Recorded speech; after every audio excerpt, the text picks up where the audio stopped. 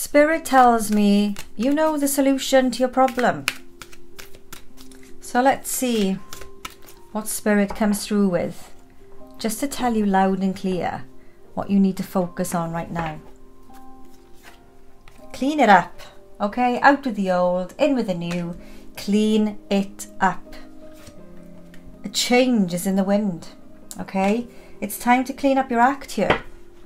And I feel like Spirit is telling me, you know this already. You know there's a change coming. And you know there's a change coming because you're very intuitive right now. You're very in tune with the universe, with the signs that you're getting. It's a regeneration happening for you. This is phoenix rising coming for you. So let's see. What does Spirit want you to focus on to help you to clean it up and to deal with this change in the wind? Look at this.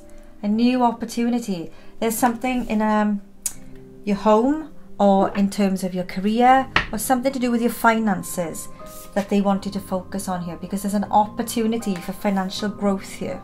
There's a financial opportunity that's going to bring you a lot of financial stability. Clean up your act. Stop denying yourself of what you're absolutely worth. It's almost like you've forgotten your worth. You've forgotten your value. And you don't believe in yourself.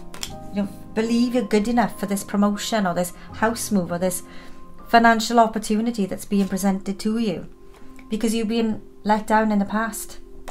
Okay, Three of Swords is low energy, it's grief, it's disappointment, it's hurt. But guess what? It's a three, and a three is about growth, it's about you learning from what you've been through, believing in yourself, and stop doubting yourself. There's a lot of self imposter syndrome here, I feel, when you achieve something good so you hold back because you, you don't feel like you're good enough, but you are good enough.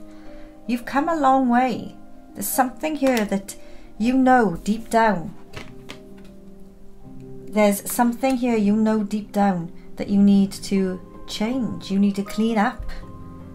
And you need to embrace this new change because you're becoming the phoenix rising with that regeneration card there. Look, another opportunity. This is telling me that you've got an opportunity here for financial growth and financial security and financial success. You've just got to believe in yourself, trust in yourself. Whatever's happened in the past, my lovely, learn from it.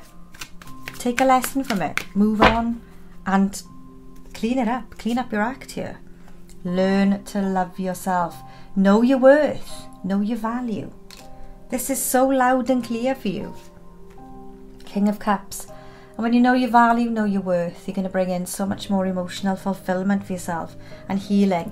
This is long growth. This is a long term commitment, long term stability. The Knight of Pentacles is coming in with a new financial opportunity. Something is bringing in a death. With that regeneration, you're letting go of something, or someone could be a Scorpio energy coming through here for you and you're embracing something new that's going to bring you a lot of long term stability and success.